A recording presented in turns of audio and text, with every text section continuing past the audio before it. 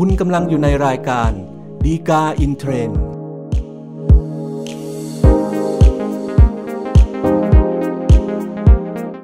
สวัสดีครับท่านผู้ชมท่านผู้ฟังทุกท่านนะครับ กลับพบกันอีกครั้งกับรายการฎีกาอินเทรนด์รายการที่นำสาระดีๆ จากคำพิพากษาศาลฎีกา มานำเสนอสู่ท่านผู้ชมท่านผู้ฟังทุกท่านนะครับ รายการนี้จัดทำโดย กองสารนิเทศประชาสัมพันธ์สำนักงานศาลยุติธรรมนะครับอย่าลืมนะครับถ้าเกิดท่านต้องการติดตามสาระจากเราอย่างทันท่วงทีนะครับกดไลค์กด Follow หรือกดติดตามนะครับแล้วแต่ว่าท่านรับชมรับฟังเนี่ยทางช่องทางไหนนะครับสำหรับประเด็นและก็เรื่องราวที่น่าสนใจที่เราจะนำมาพูดคุยกันในตอนนี้นะครับก็เป็นเรื่องของที่ว่า เวลาที่มีอุบัติเหตุมีเหตุการณ์เกิดขึ้น แล้วก่อให้เกิดความเสียหายกับบุคคลหนึ่งถูกไหมครับ ซึ่งปกติแล้วเนี่ยก็มันก็ต้องมีประเด็นเรื่องของการเยียวยา ชดใช้ค่าเสียหาย หรือว่าค่าสินไหมทดแทนให้กับบุคคลที่รับบาดเจ็บหรืออันตรายอย่างที่ว่านะครับ ถ้าเกิดเป็นกรณีที่มันมีสาเหตุ หรือมีที่มาที่ไปเนี่ยโดยชัดเจนนะครับว่ามันเกิดจากอะไรหรือใครต้องเป็นคนรับผิดชอบเนี่ยการที่จะมาหาตัวคนที่ต้องรับผิดชดใช้เนี่ยก็คงไม่ใช่เรื่องยากเย็นนักนะครับ แต่ว่าบางกรณีมันอาจจะไม่สามารถระบุสาเหตุเนี่ย ได้ชัดเจนแน่นอนมากนักนะครับสำหรับประเด็นที่เรานำมาพูดคุยกันโดยเฉพาะในตอนนี้นะครับ ก็เป็นกรณีที่ว่า ถ้าเกิดว่าลูกจ้างเนี่ยได้รับบาดเจ็บจากการที่ก๊าซที่ใช้ในการผลิตสินค้าเนี่ยมันระเหยขึ้นมาแล้วก็มีการลุกไหม้นะครับในโรงงานเนี่ยจนทำให้ลูกจ้างได้รับบาดเจ็บเนี่ยกรณีอย่างนี้เจ้าของโรงงานจะต้องรับผิดชดใช้ค่าเสียหาย หรือว่าค่าสินไหมทดแทนเนี่ยหรือไม่เพียงใดนะครับ สำหรับประเด็นแล้วก็เรื่องราวที่เกิดขึ้นนะครับ ก็สมมติว่าชื่อนายกอแล้วกันนะครับ ก็เป็นลูกจ้างรายวันที่ทำงานอยู่ในโรงงานผลิตม้วนโฟมแห่งหนึ่งของบริษัท A นะครับสำหรับที่มาที่ไปของเหตุการณ์ที่เกิดขึ้นนะครับ จริงๆแล้วเนี่ยอาจจะมีข้อจริงเรื่องของกระบวนการผลิตสินค้าเนี่ยเยอะหน่อยแต่ว่าโดยสรุปเอาสั้นๆนะครับ เท่าที่เป็นสาระสำคัญก็ประมาณว่า ในการผลิตม้วนโฟมที่ว่าเนี่ยมันต้องมีการใช้เรื่องของ วัสดุที่ทำจากพลาสติกนะครับแล้วก็มีการฉีดความร้อนเข้าไป เพื่อให้พลาสติกมันละลาย แล้วก็สามารถที่จะแปลงสภาพทำให้เป็นสินค้าที่อยู่ในรูปของม้วนโฟมได้นะครับแต่พอฉีดความร้อนเข้าไปเนี่ยพอกระบวนการทำสินค้านะครับก็ต้องมีการฉีดก๊าซ LPG เข้าไปอีกครั้งหนึ่งนะครับเพื่อทำให้ตัวสินค้าเนี่ยมีอุณหภูมิที่เย็นลงนะครับคราวนี้พอมันขึ้นรูปเป็นตัวม้วนโฟมเรียบร้อยแล้วเนี่ยนะครับด้วยความที่ในการผลิตสินค้าเนี่ย มันมีตัวของก๊าซ LPG ที่ถูกฉีดเข้าไปในตัวม้วนโฟมที่ว่านะครับก็ต้องมีการเอาม้วนโฟมเนี่ยไปวางไว้เฉยๆเนี่ยนะครับเพื่อให้ก๊าซ LPG ที่ว่าเนี่ยมันระเหยออกจากม้วนโฟมซะก่อนนะครับโดยระยะเวลาในการที่ให้ก๊าซมันระเหยออกไปโดยทั่วไปนะครับก็ใช้เวลาประมาณ 1 สัปดาห์นะครับก็เหตุผลก็คงเป็นเพราะว่าไอ้ตัวก๊าซ LPG เนี่ยมันมีคุณสมบัติที่ที่ติดไฟได้นะครับแต่คราวนี้เหตุการณ์ที่เกิดขึ้นก็คือว่า ใน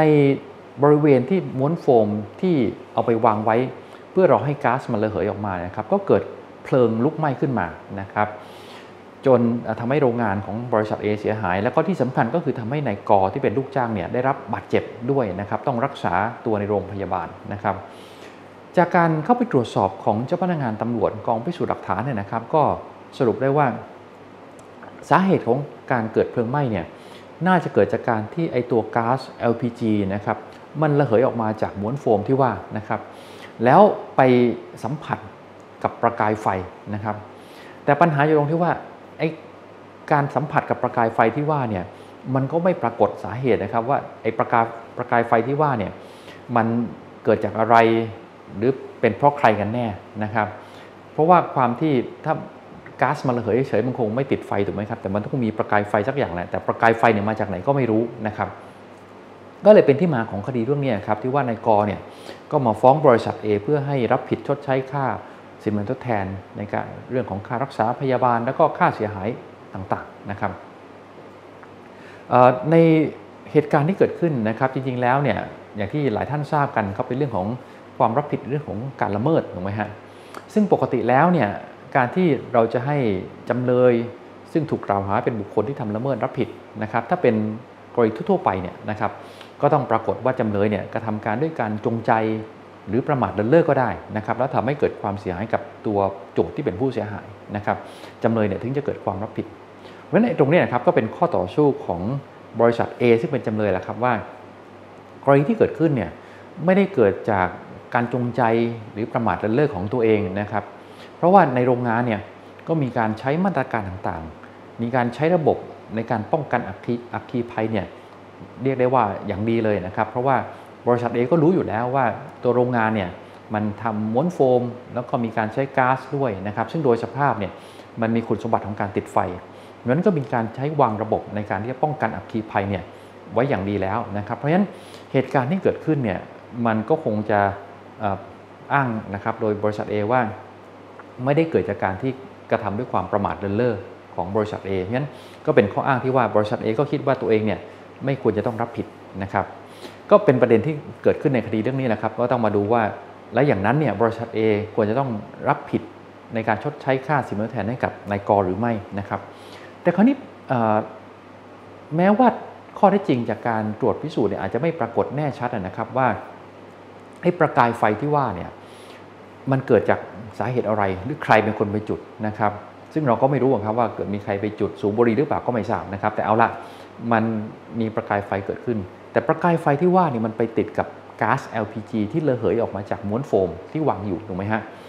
คราวนี้เนี่ยโดยสภาพของก๊าซ LPG อย่างที่เราคุยกันก็คือว่า เนื่องจากเป็นส่วนผสมอย่างหนึ่งที่ใช้ในการผลิตสินค้าชนิดนี้แล้วก็โดยตัวของมันเองนะครับมันมีคุณสมบัติที่สามารถติดไฟได้นะครับ ราะฉะนั้นด้วยคุณสมบัติลักษณะอย่างนี้นะครับ มันก็พอจะถือได้ว่าตัวก๊าซ LPG ที่ใช้ในการผลิตสินค้าเนี่ยเป็นทรัพย์ที่อาจจะเกิดอันตรายได้โดยสภาพของตัวสิ่งของชิ้นนี้เองนะครับ เพราะฉะนั้นเนี่ยในเรื่องนี้ประมวลกฎหมายแพ่งและพาณิชย์นะครับมาตรา 437 วรรค2เนี่ยก็กำหนดไว้นะครับว่าถ้าเป็นกรณีของทรัพย์ที่อาจจะเกิดอันตรายได้โดยสภาพอย่างที่ว่า นะครับซึ่งในกรณีนี้ก็คือก๊าซ LPG เนี่ยตัวคนที่เป็นผู้ครอบครอง หรือว่าควบคุมดูแลตัวทรัพย์ชิ้นเนี่ยนะครับก็จะต้องสันนิษฐานไว้ก่อนว่ามีความรับผิดนะครับที่ต้องชดใช้ค่าสินไหมทดแทนนะครับเว้นแต่ว่า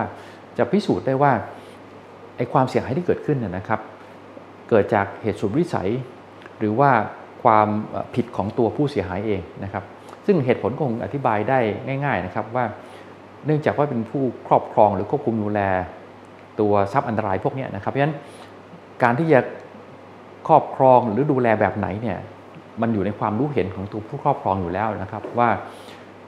การที่ดูแลของตัวเองเนี่ยมันได้มาตรฐานแล้วก็สามารถที่จะป้องกันอันตรายได้หรือไม่นะครับเพราะฉะนั้นถ้าเกิดจะปฏิเสธความรับผิดเนี่ยก็ต้องพิสูจน์ให้เห็นแล้วครับว่าไอเหตุการณ์ที่เกิดขึ้นเนี่ยมันเกิดจากเหตุสุดวิสัยนะครับ หรือเกิดจากความผิดของผู้เสียหายนะครับ เพราะฉะนั้นในกรณีเนี้ บริษัท A นะครับแม้ว่าจะบอกว่าตัวเองเนี่ยได้ใช้ระบบป้องกันอัคคีภัยอย่างดีแล้วนะครับ แต่มันก็ไม่ได้แสดงหรือพิสูจน์ให้เห็นว่าเหตุการณ์ที่เกิดขึ้นเนี่ยมันเกิดจากเหตุสุดวิสัยนะครับ แล้วก็ไม่ปรากฏว่าเกิดจากความผิดของนายกด้วยนะครับ เพราะฉะนั้นเมื่อไม่เข้าข้อยกเว้น 2 ประการเนี่ยนะครับว่าไอเหตุการณ์ที่เกิดขึ้นเนี่ยเกิดจากเหตุสุดวิสัย หรือว่าความผิดของตัว ผู้ต้องรับผู้ผู้เสียหายที่ว่านะครับเพราะฉะนั้นบริษัทเองนะผู้ครอบครองหรือควบคุมดูแลทรัพย์อันตรายที่ว่าเนี่ยก็ยังคงต้องมีความรับผิดที่ต้องชดใช้ค่าสินทดแทน เป็นค่าเสียหายกับนายกออยู่นะครับงั้นโดยสรุปก็คงพอจะสรุปได้สั้นๆนะครับว่าในกรณีของทรัพย์อันตรายนะครับซึ่งอย่างเช่นในคดีนี้คือก๊าซ LPG เนี่ยนะครับถ้าไปขอให้เกิดความเสียหายขึ้น คนที่เป็นผู้ครอบครองหรือควบคุมดูแลทรัพย์อันตรายพวกนี้นะครับก็ต้องเกิดความรับผิด ที่ต้องชดใช้ค่าสินไหมทดแทนนะครับ เว้นแต่ว่าจะพิสูจน์ได้ว่าไอ้ความเสียหายที่เกิดขึ้นเนี่ยเกิดจากเหตุสุดวิสัย หรือว่าความผิดของผู้เสียหายนั่นเองนะครับก็เป็นข้อยกเว้น 2 ประการเท่านั้นที่กฎหมายกำหนดไว้นะครับสำหรับท่านที่ต้องการดูรายละเอียดเพิ่มเติมนะครับดูได้จากคำพิพากษาสารดีกาที่ 8935ทับ2563 นะครับ ก็เป็นครบถ้วนครับสำหรับรายการดีกาอินเทรนในตอนนี้นะครับอย่าลืมเช่นกันนะครับ ถ้าเกิดท่านต้องการติดตามสาระจากเราอย่างไม่ขาดตกบกพร่องนะครับ กดไลค์กด Follow หรือติดตามนะครับ แล้วแต่ว่ารับชมรับฟังเนี่ยทางช่องทางไหนนะครับ อย่าลืมพบกันใหม่ในตอนหน้านะครับ ซึ่งเราคงพยายามสรรหาสาระดีๆ จากคำพิพากษาสารดีกาเนี่ยมานำเสนอสู่ท่านผู้ชมท่านผู้ฟังทุกท่านเช่นเคยครับ พบกันใหม่ในตอนหน้าครับ สวัสดีครับ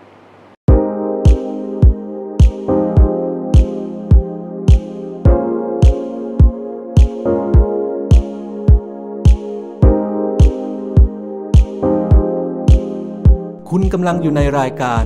ดีกาอินเทรนด์